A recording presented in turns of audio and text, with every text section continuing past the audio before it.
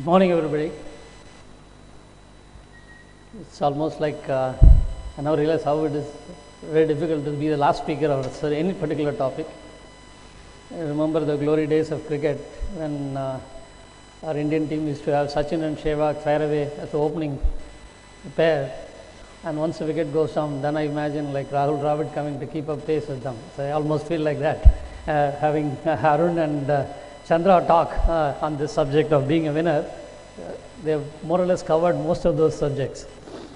Um, let me try to say, instead of uh, uh, trying to sermonize, let me at least uh, try to narrate from some of the experiences which we, uh, I've had, some of them very similar to what Chandra mentioned. The, I myself grew up in a small town, Nagercoil, had all my basic education in Tamil medium in Nagercoil. Um, grew up, had a passion for science, gave up IIT and took up science as my basic education because I was passionate about science. Um, that was a passion at that time. So I thought physics was my life and that's what I need to do. So didn't take up any engineering course, went for science because I, though it was fashionable to do engineering at that time, and it was, uh, I still took up science. I went and did masters. I almost did a PhD in science, but then, uh, as he said, over time, your passion changes. So suddenly, IT became a, the thing which I thought I would like.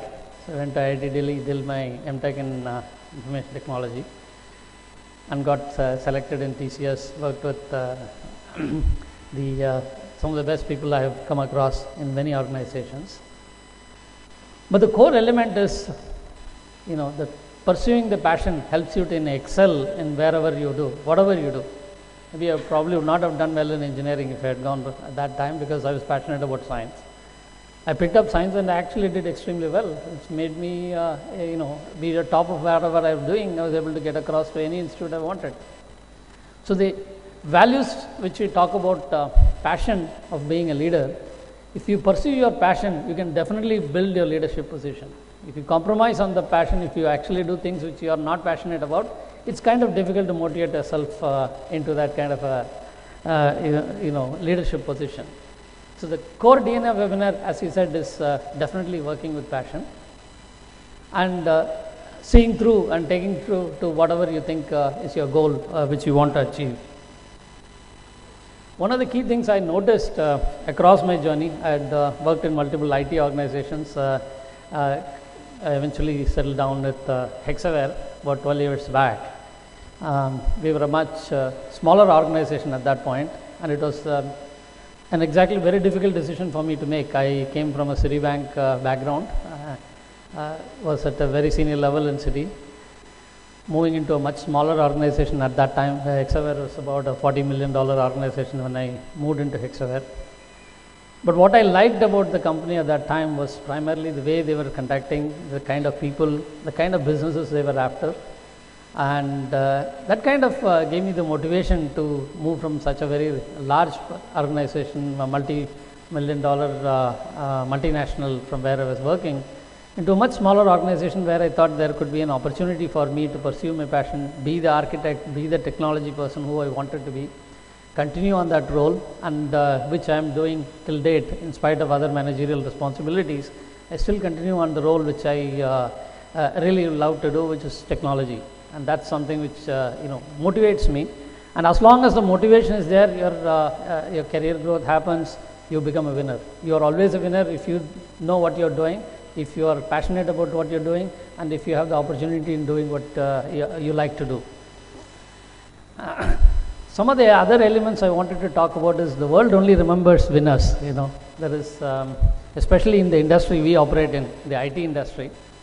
I remember in the, one of my earlier organizations where I worked, uh, there used to be, when I joined them, there, you know, seen a lot of congratulatory mails on, the mails used to look like this, we uh, competed in a particular bid. Congratulations, we actually came second. We were the close second.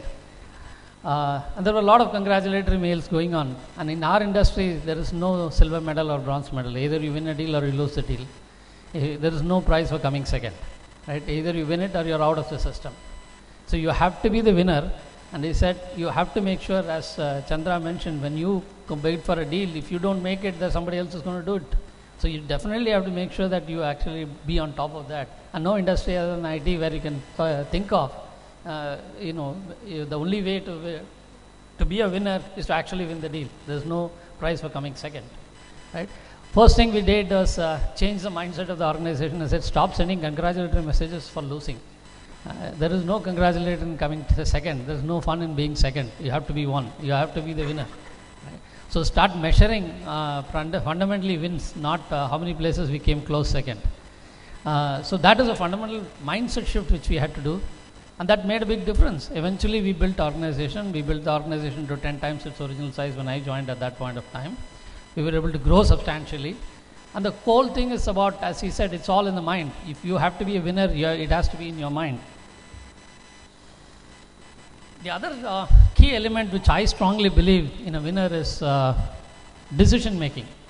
What makes uh, difference between a winner and a novice is uh, primarily the ability to take decisions. Decisions quickly, right decisions, and not be afraid of taking the wrong decision.